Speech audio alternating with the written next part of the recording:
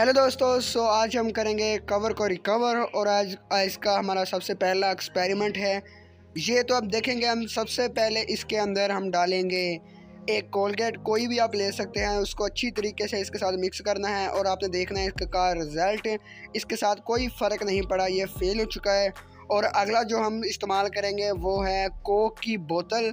ये देखो कोक की बोतल का हम इस्तेमाल करेंगे और इसको इसके अंदर डाल के और इसके अंदर हम बेकिंग सोडा डालेंगे। बेकिंग सोडा के बाद हम इसमें मैं ई एन ओ ऑनियन जो कि इसका होता है, वो जो काफ़ी लोग इस्तेमाल करते हैं, इससे हम देखते हैं फ़र्क पड़ता है या नहीं। कोक के साथ 10 घंटे इसको हमने रखा। 10 मिनट, अगर कई कई लोगों ने 10 मिनट और कई और लोगों ने 10 घंटे रखा है और इसमें कोई इतना ख़ास फ़र्क नहीं पड़ा।